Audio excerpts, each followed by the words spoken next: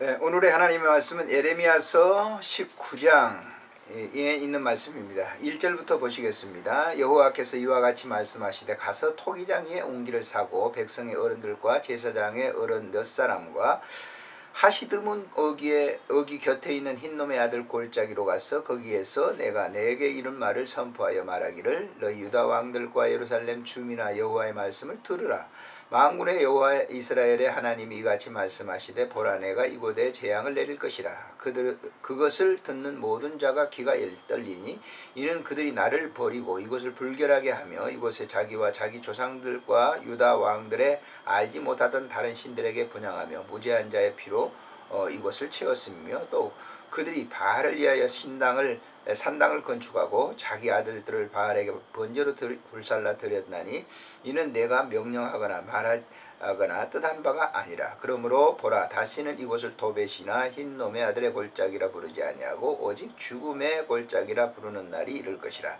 여호와의 말씀이니라. 어, 예레미야 선지자를 통해서 유다 백성들의 망할 것을 갖다가 예고하는 그런 말씀이죠. 어, 말씀드렸지만은 예레미야는 유다 말기에 활동했던 그런 선지자로서 망해가는 나라를 보면서 그들에게 하나님께서 그에게 명하신 말씀을 그대로 선포하고 있는 것을 볼 수가 있습니다.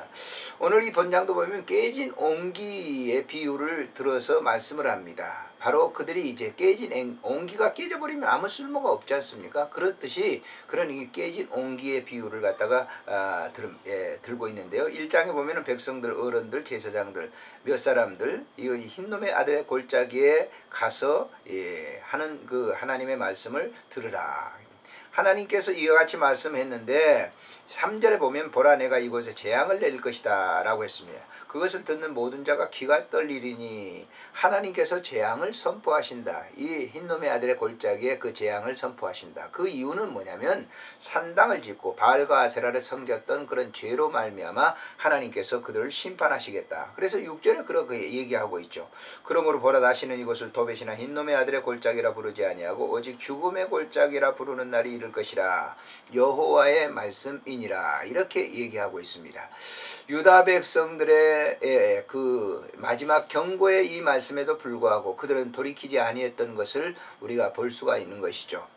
하나님께서 명하신 그 말씀을 돌이키지 않을 때 어느 시대고 하나님은 그 시대를 심판했던 것을 우리가 볼 수가 있습니다. 이렇듯이 유다 나라도 몇시 마지막 이제 망해가는 그런 이 정황에도 불구하고 그들은 하나님을 섬기지 아니하고 바알과 아세라 그리고 아들을 예, 바치는 흰놈의 신까지 섬기게 됐던 것을 우리가 볼 수가 있는 것이죠.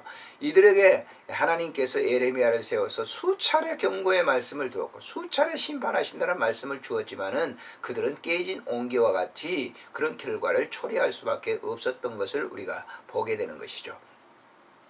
우리는 언제나 살아가면서 하나님의 경고의 메시지를 들어야 됩니다. 그 음성을 조용하게 들어야 됩니다. 그리고 그 말씀을 듣고 난 이후에 우리의 삶을 돌이키는 것, 이건 매우 귀중한 것이라고 하는 것을 우리가 알아야 될 것입니다. 오늘도 이 주어진 이 말씀을 통해서 다시 한번 우리 자신들을 살펴보면서 늘 우리의 삶 속에 하나님을 배반하는 그런 일이 없도록 오직 하나님만이 나의 모든 것이 되도록 그런 신앙의 생활을 해야 될 줄 압니다. 안녕히 계십시오.